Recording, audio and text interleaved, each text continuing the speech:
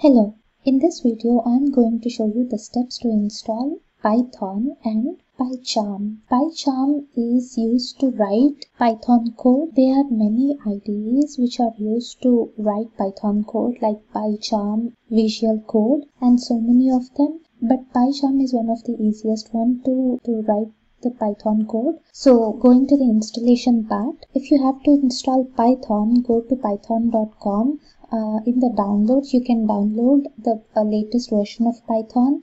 Once you download the python you'll get the exe to execute it. The first step in the installation of python you'll see the screen something like this.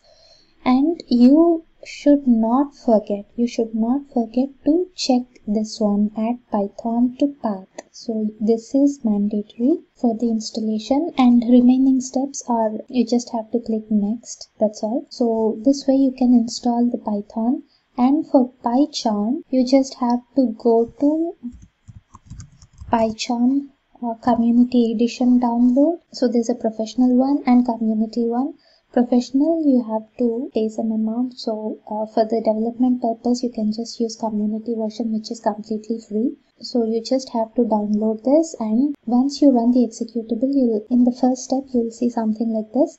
So like you did for python you you have to check this one add bin folder to path and you can also add this one create associations uh, .py file and then click next and you just have to click next click next to finish the installation process. That's all about the installations. So if you want to learn python with me you have to install python and pycharm. So in the next video we'll start writing the code. Thank you